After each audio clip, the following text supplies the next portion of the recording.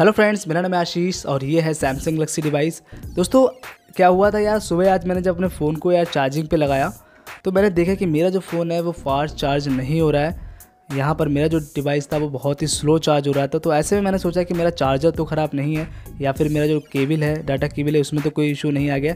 तो अगर आपको ऐसा लग रहा है तो यहाँ पर ऐसा कुछ भी नहीं, सारे डाउट आपके दूर हो जाएँगे। रियल में क्या प्रॉब्लम आपको समझ में आ जाएगा? तो यहाँ पर मैं आपको तीन स्टेप्स बताऊँगा तो ध्यान से देखना चार्जिंग से रिलेटेड कोई भी इशू आपका होगा, यहाँ पर सॉल्व हो जाएगा। आपका फ़ोन फास्ट चार्जिंग को सपोर्ट नहीं कर रहा है तो यहाँ पर करने लगेगा। तो यहाँ पर सबसे पहले आपको अपने फ़ोन को चार्जिंग पे लगाना है। तो भाई वीडियो अच्छा लग रहा हो तो वीडियो की लाइक ज़रूर कर दो। तो यहाँ पर मैंने चार्जिंग पे लगा दिया। एंड इसके बाद आपको क्या करना है, यहाँ पर चेक करना है। मैं आपको दिखा देता हूँ।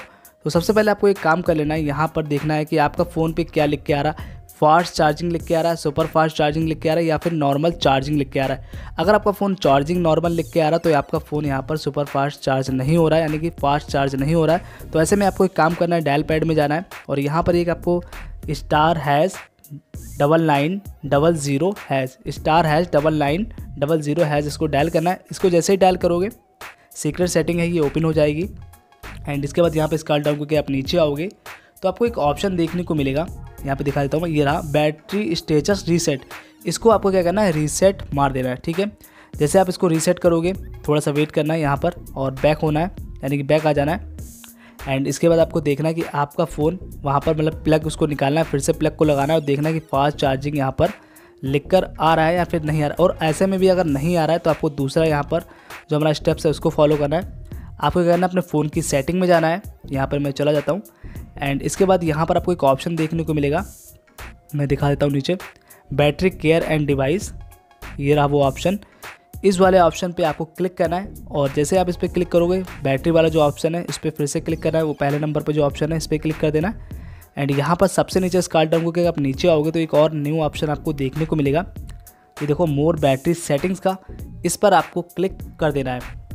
अब आपको यहाँ पर क्या करना है, अगर आपका फास्ट चार्जिंग यहाँ पर ये ऑफ़ है तो इसको ऑन कर लेना है, और अगर ऑन है तो इसको एक बार ऑफ़ करके मतलब इसको पहले ऑफ़ करना है, फिर इसको ऑन कर लेना है, जैसे मैंने अभी किया, ठीक है? ऑफ़ करके ऑन कर लेना है एंड इसके बाद आपको देखना है मतलब अपना जो चार्जर है, उसको निकालना है अपने फ़ोन से और देखना है फिर से लगा के कि प्लग करना है कि फास्ट चार्जिंग लिख के आ रहा है या सुपर फास्ट या फिर नॉर्मल चार्जिंग ही लिख के आ रहा है। अगर फिर भी आपका फ़ोन में कोई इशू रहता है तो आपको अपना फ़ोन जो है इसको स्विच ऑफ़ कर देना है।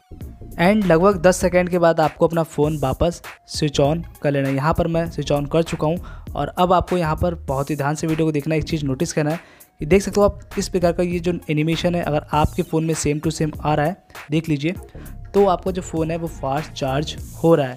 अगर ऐसा एनिमेशन नहीं आ रहा है तो आपका फ़ोन फास्ट चार्ज नहीं हो रहा है। वैसे ये तीनों स्टेप्स फॉलो करने के बाद हंड्रेड टेन परसेंट आपके फ़ोन में कोई भी चार्जिंग इशू होगा, वो यहाँ पर सही हो जाएगा सॉल्व हो जाएगा। तो वीडियो अच्छा लगा तो भाई वीडियो को लाइक कर देना चैनल पहली बार तो चैनल को सब्सक्राइब करके बेलाइकन कॉल पर सेट कर देना, ताकि आपको इसी प्रकार से और भी न्यू वीडियो की नोटिफिकेशन मिलती रहे। चलिए मिलते हैं नेक्स्ट वीडियो में, आपका दिन शुभ हो।